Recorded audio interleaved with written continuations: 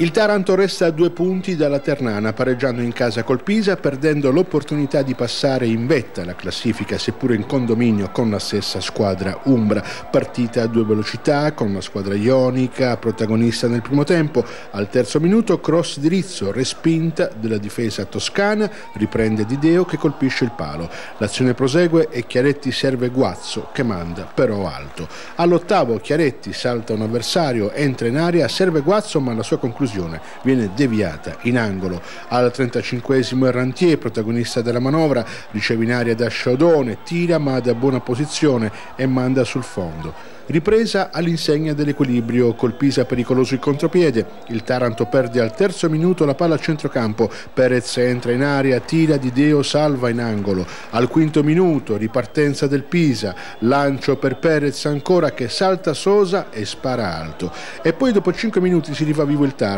Sciaudone serve Guazzo ma il suo tiro è debole. Chiude la squadra ionica al 48esimo, calcio d'angolo, la sfera finisce a Rizzi che a volo conclude ma il portiere pisano respinge.